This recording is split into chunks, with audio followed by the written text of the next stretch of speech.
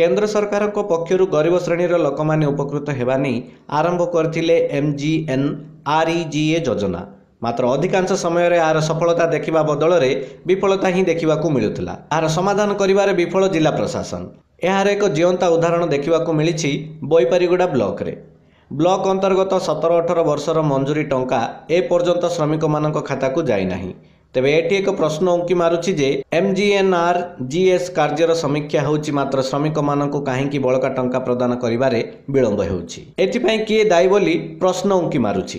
ଗ୍ରାମବାସୀଙ୍କ ପକ୍ଷରୁ ମଜୁରୀ ଟଙ୍କା ବିଳମ୍ବ ହେଉଥିବା ନେଇ ବୋଇପାରିଗୁଡ଼ା ବିଡ଼ିଓଙ୍କୁ ଏକ ଦାବିପତ୍ର ପ୍ରଦାନ କରିଥିବାର ଜଣାପଡ଼ିଛି। ଏ ସମ୍ପର୍କରେ ବୋଇପାରିଗୁଡ଼ା ବିଡ଼ିଓ ରଜନୀକାନ୍ତ ଦାସଙ୍କ ସହ ଯୋଗାଯୋଗ କରିବାରୁ ସେ କହିଥିଲେ ଯେ ସେମାନଙ୍କୁ ଅଳ୍ପ ଦିନ ମଧ୍ୟରେ ଟଙ୍କା ପ୍ରଦାନ କରାଯିବ।